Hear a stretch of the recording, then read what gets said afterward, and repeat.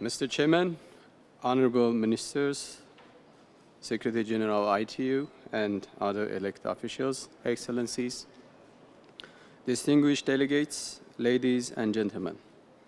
Allow me to begin by expressing my gratitude to the people and government of Romania for their kind hospitality for organizing this event in the beautiful city of Bucharest. We are confident that under your leadership, this plenipotentiary conference will become a memorable success.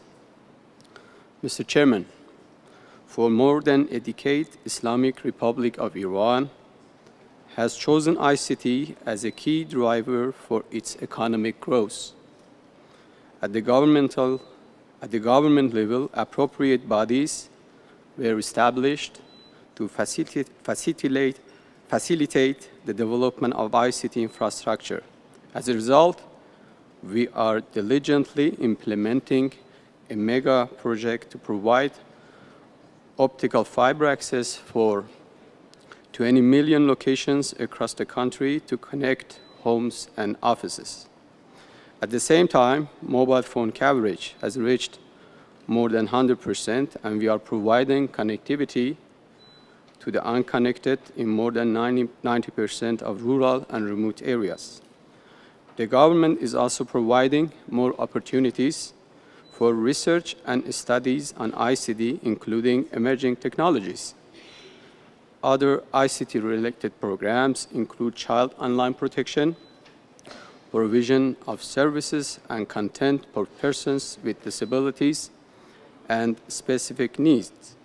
Also, special programs are implemented to promote the participation of women in ICTs. Iran has also developed prevalent local green ICT structures and platforms such as online stores, e-banking, shared transportation, and VODs.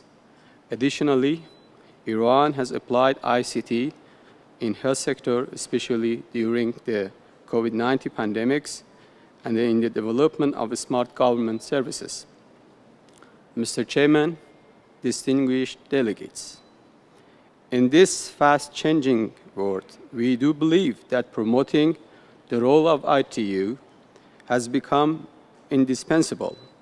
We have participated dynamically and positively in ITU activities and meetings and have contributed to achieve consensus on many difficult and sensitive issues. We hope that you would enable us to continue this role by your votes to Iran's bid for re-election to ITU Council. I thank you for your attention and wish success for this conference.